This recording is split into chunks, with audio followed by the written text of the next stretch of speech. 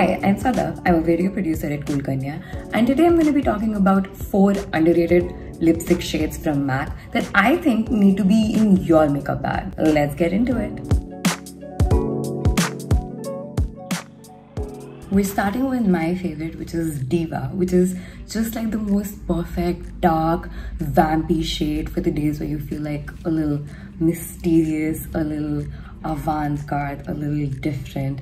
I think this is great to express yourself on days where you feel a little experimental and it's one of those shades which goes with almost every outfit like from a dark dress to like white crisp shirt it's just a perfect statement lip color and that's why it's one of my absolute favorites. Now we're moving on to the extreme other side with this absolutely beautiful nude shade called Whirl and I think mini mattes are a great investment because how many full-size lipsticks have you actually ever finished? Anyway, let's test this out out.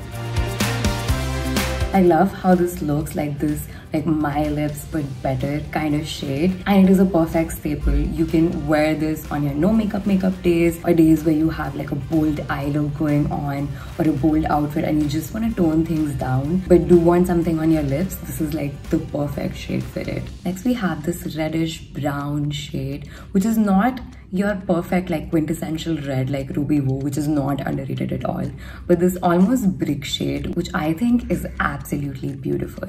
Let's try it out.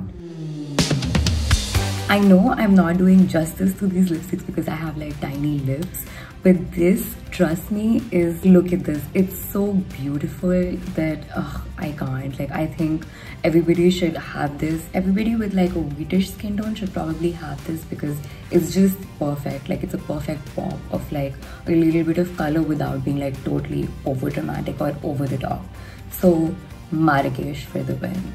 I hope that's how you pronounce it don't you think it's the perfect shade? Like it's not too pink it's not too purple and for somebody with small lips like mine it makes them noticeable and it's totally wearable for work because it's not too loud not too muted. It's just like the right amount of pizzazz you want in the outfit. So there you have it. Which one was your favorite? Tell us in the comments below. And make sure to click subscribe and turn on the notifications so you do not miss out on any new videos. Till next time bye